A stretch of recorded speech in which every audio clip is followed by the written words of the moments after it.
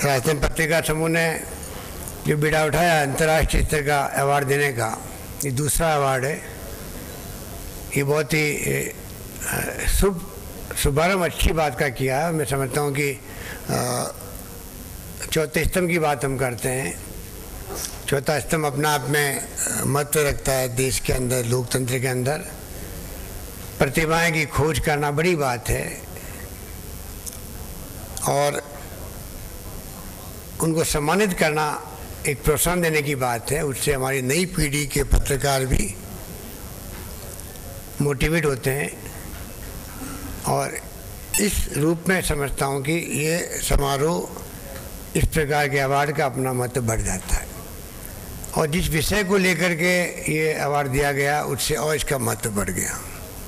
मुझे उम्मीद है कि आने वाले वक्त के अंदर ये समूह इसी प्रकार से सम्मानित करेगा पत्रकार बंधुओं को, जिसकी आज बहुत ज़रूरत है। इस चौथे स्तंभ के महत्व को बनाए रखने में भी अपनी भूमिका निभाएगा, क्योंकि मुझे कहने में कोई संकोच नहीं है कि आज़ादी के साठ साल के अरसे के अंदर, हर फ़ील्ड के अंदर, चाहे राजनीति हो, चाहे सामाजिक हो, चाहे वो मीडिया का हो, सब जगह मूल्यों में गिरावट भी आई है।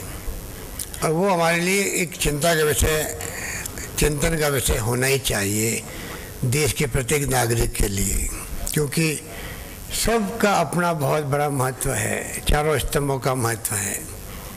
और चारों स्तंभों में अगर मूल्यों में गिरावट आती है तो सबके लिए, प्रबुद्ध वर्ग के लिए,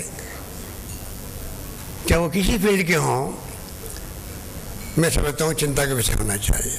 और गिरावट किस कदर आई है वो भी एक राष्ट्रीय बहस का विषय होना चाहिए। तब जाकर के हम उसमें सुधार करने की गुंजाइश की तरफ़ आगे बढ़ सकेंगे और उद्देश्य पूरा कर पाएँगे। इसलिए मैं इस मुबारक मौके पर कोई लंबी चौड़ी तकरीर नहीं करता हुआ, समय बहुत हो चुका है। ट्रैफ़िक के कारण से हमारे मुख्य अतिथि और बाकी कई अतिथि समय पर हाजिर भी नहीं हो पाए। समय इतना ट्रैफ़िक जाम था कारण से देरी भी हुई। पर मैं मुझे इस मुबारक मौके पर यहाँ आने का अवसर मिला। इसके लिए मैं पत्रिका समूह का आभारी हूँ। आप सबके दर्शनों में इन्हीं शब्दों के साथ में मैं आ, एक बार पुनः तहे दिल से हरिंद्र बवेरिया जी का इनकी साथियों का और तमाम सम्मानित होने वाले पत्रकारों को बहुत बहुत मुबारकबाद, उनके उज्जवल भविष्य की कामना करता हूँ। धन्यवाद, जय हिंद।